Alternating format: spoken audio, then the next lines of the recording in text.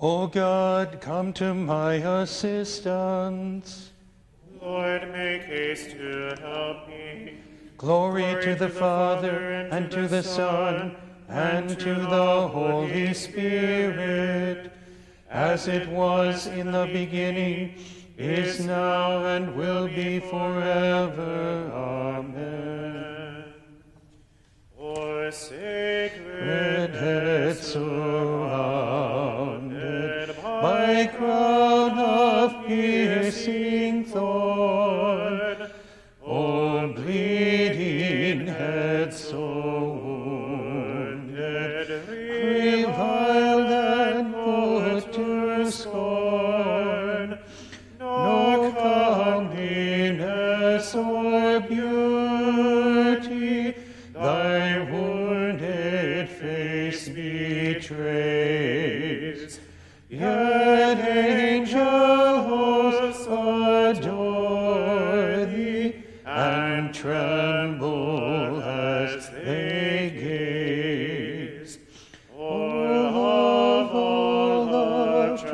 transcending,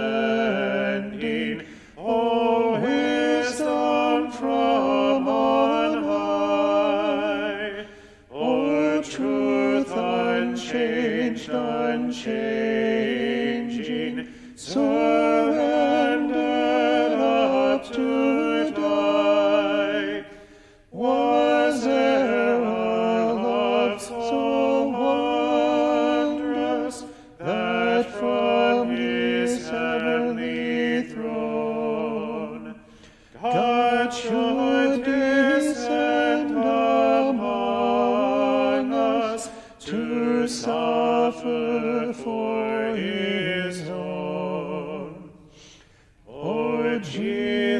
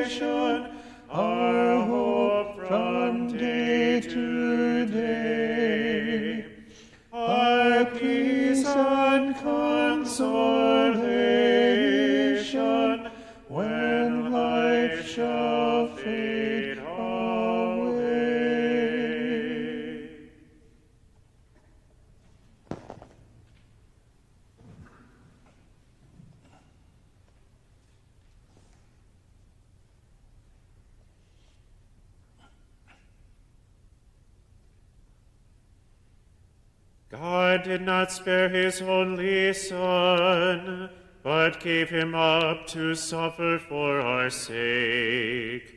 Have mercy on me, God, in your kindness. In your compassion, blot out my offense. O wash me more and more from my guilt, and cleanse me from my sin. My offenses truly I know them. My sin is always before me. Against you, you alone have I sinned. What is evil in your sight I have done. that you may be justified when you give sentence, and be without reproach when you judge. O see in guilt I was born, a sinner was I conceived. Indeed, you love truth in the heart. Then in the secret of my heart teach me wisdom. O purify me, then I shall be clean. O wash me, I shall be whiter than snow. Make me hear rejoicing and gladness, that the bones you have crushed may revive. My, from my sins turn away your face, and blot out all my guilt. A pure heart create for me, O God. Put a steadfast spirit within me. Do not cast me away from your presence, nor deprive me of your Holy Spirit. Give me again the joy of your help. With a spirit of fervor sustain me, that I may teach transgressors your ways, and sinners may return to you. O rescue me, God, my helper, and my tongue shall ring out your goodness. O Lord, open my lips, and my mouth shall declare your praise. For in sacrifice you take no delight, burnt offering from me you would refuse. My sacrifice, a contrite spirit, a humbled, contrite heart you will not spurn.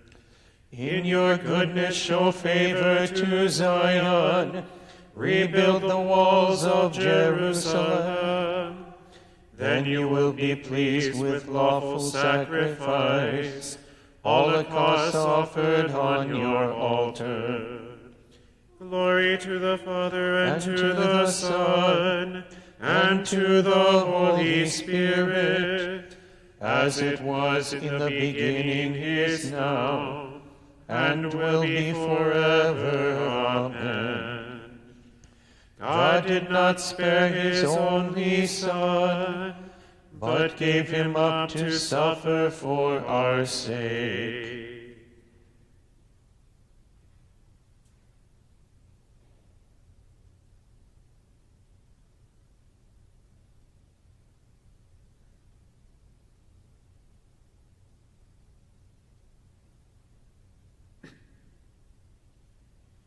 Jesus Christ loved us and poured out his own dear blood for us to wash away our sins.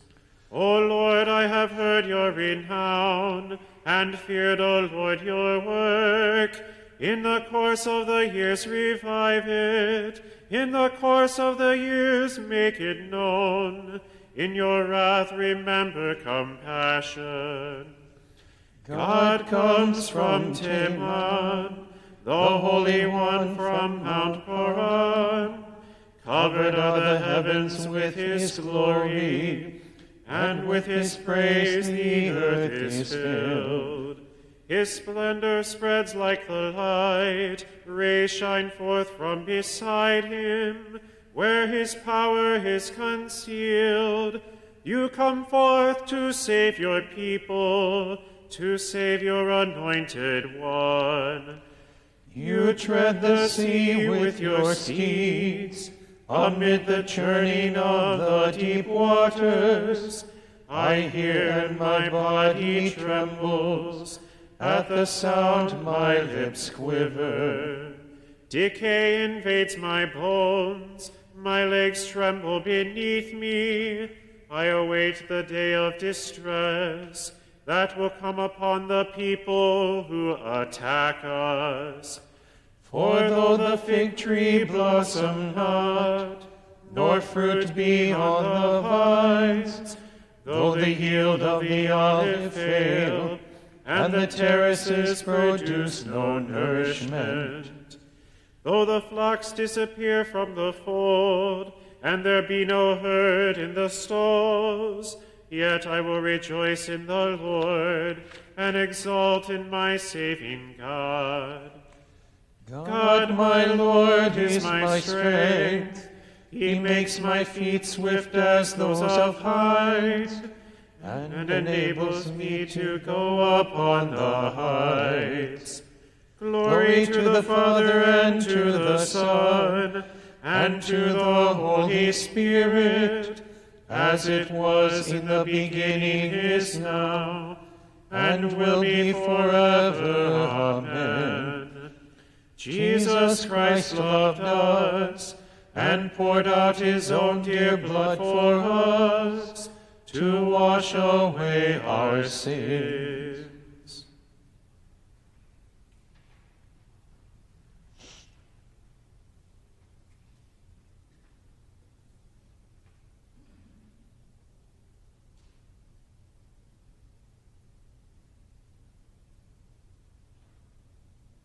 We worship your Christ cross, O Lord, and we praise and glorify your holy resurrection.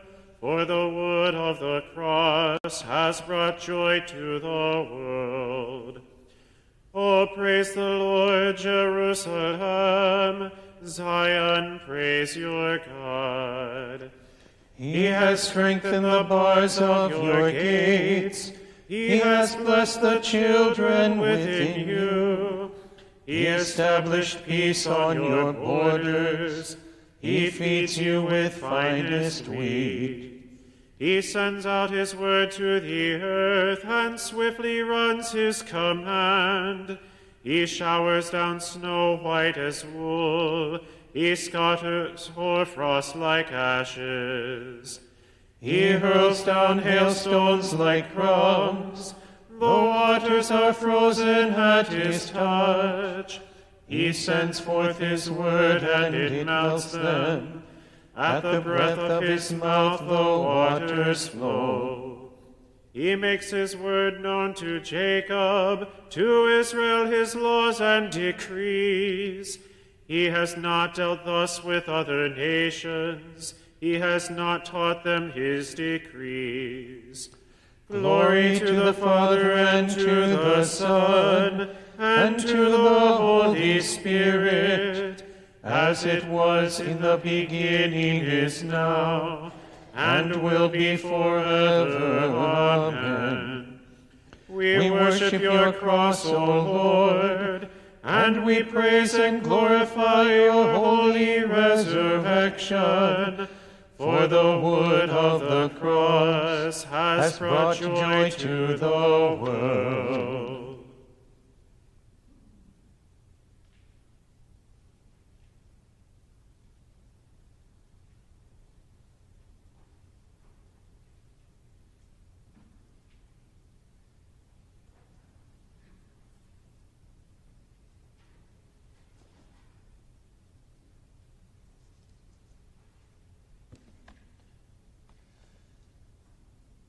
See, my servant shall prosper. He shall be raised high and greatly exalted. Even as many were amazed at him, so marred were his features beyond that of mortals, his appearance beyond that of human beings. So shall he startle many nations. Kings shall stand speechless. For those who have not been told shall see those who have not heard shall ponder it.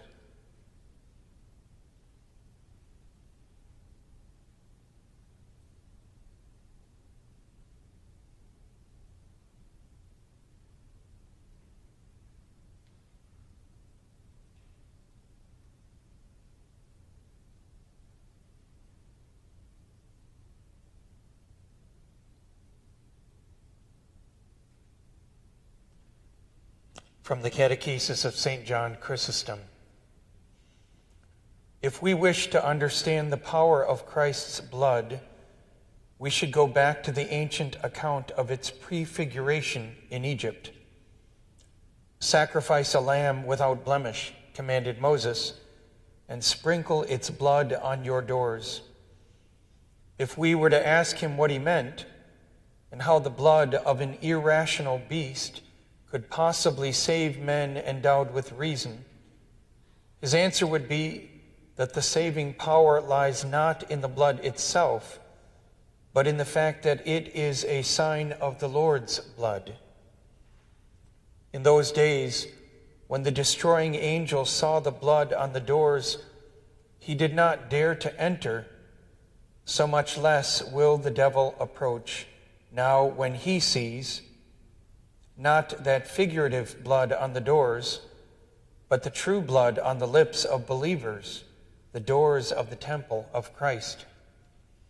If you desire further proof of the power of his blood, remember where it came from, how it ran down from the cross, flowing from the Master's side. The gospel records that when Christ was dead, but still hung on the cross, a soldier came and pierced his side with a lance, and immediately there poured out water and blood. Now the water was a symbol of baptism, and the blood of the Holy Eucharist. The soldier pierced the Lord's side. He breached the wall of the sacred temple. And I have found the treasure and made it my own. So also with the lamb. The Jews sacrificed the victim, and I have been saved by it. There flowed from his side water and blood. Beloved, do not pass over this mystery without thought. It has yet another hidden meaning, which I will explain to you. I said that water and blood symbolized baptism and the Holy Eucharist. From these two sacraments, the church is born. From baptism, the cleansing water that gives rebirth and renewal through the Holy Spirit, and from the Holy Eucharist. Since the symbols of baptism and the Eucharist flowed from his side, it was from his side that Christ fashioned the church, as he had fashioned Eve from the side of Adam.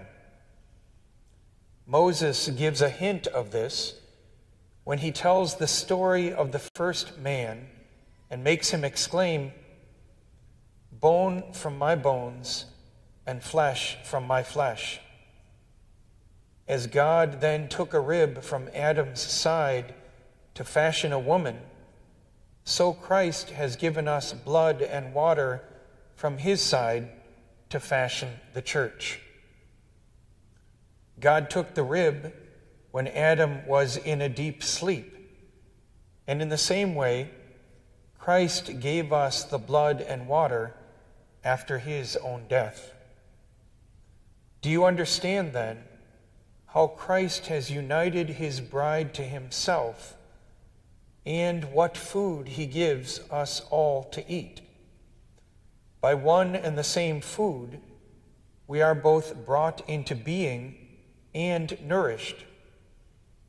As a woman nourishes her child with her own blood and milk, so does Christ unceasingly nourish with his own blood those to whom he himself has given life.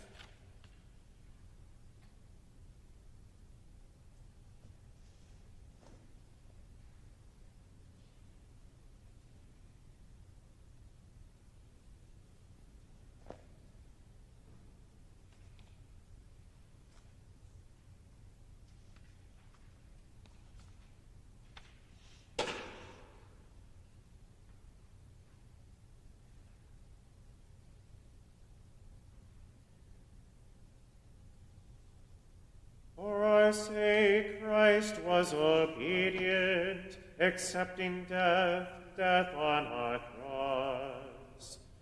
For our sake Christ was obedient, accepting death, death on a cross.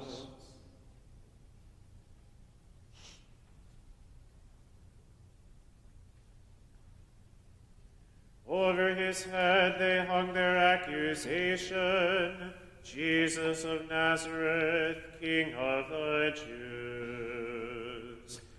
Now bless the God, of Israel, who comes in love and power, who raises from the royal house deliverance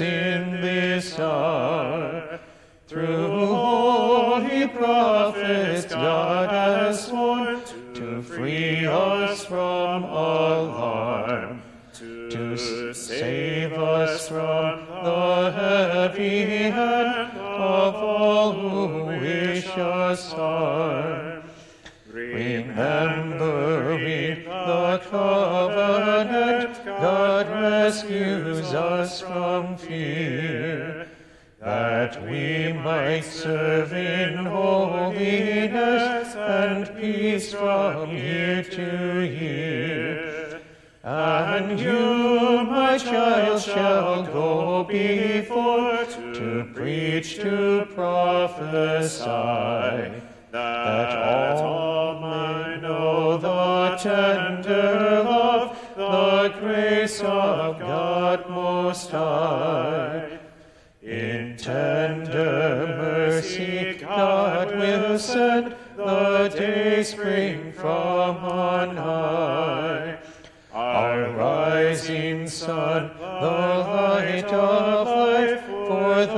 those who sit and sigh.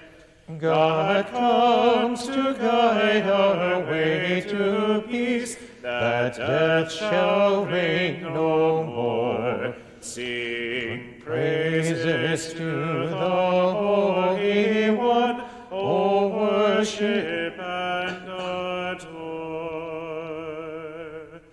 Over his head they hung their accusation.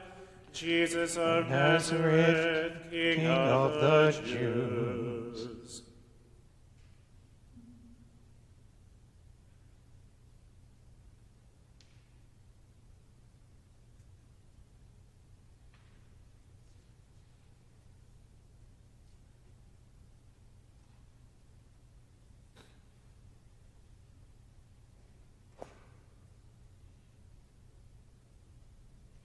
For our sake, our Redeemer suffered death and was buried and rose again. With heartfelt love, let us adore him and pray.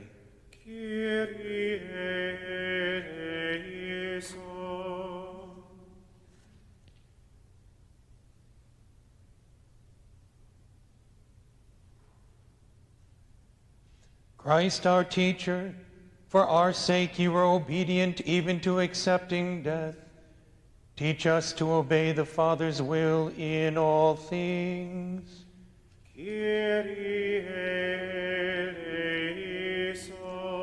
Christ, our life, by your death on the cross, you destroyed the power of evil and death. May we die with you to rise with you in glory.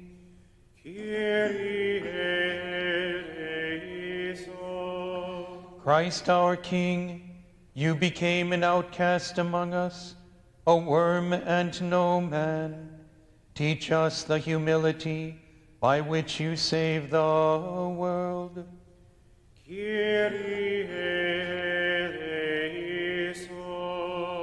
Christ, our salvation, you gave yourself up to death out of love for us. Help us to show your love to one another. Eleison. Christ, our strength, be with our world as we continue to fight the coronavirus pandemic. Give health to the sick, comfort to the dying, support to medical professionals, and peace to all. Kyrie Christ, our Savior, on the cross you embraced all time with your outstretched arms. Unite God's scattered children in your kingdom of salvation.